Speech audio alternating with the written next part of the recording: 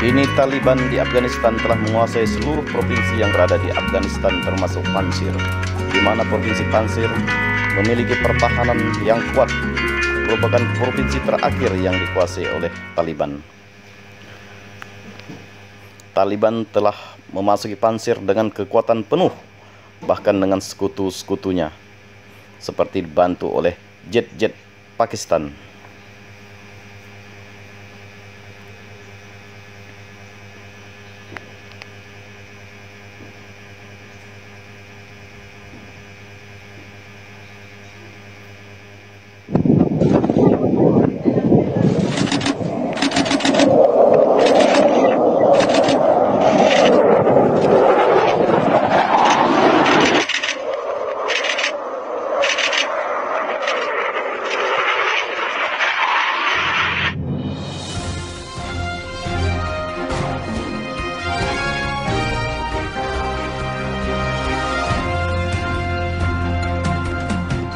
Tidak diketahui keberadaan Amrullah Saleh Presiden Peteker dan Ahmad Masuk sebagai leader Lion of Pansir apakah mereka terus melakukan perlawanan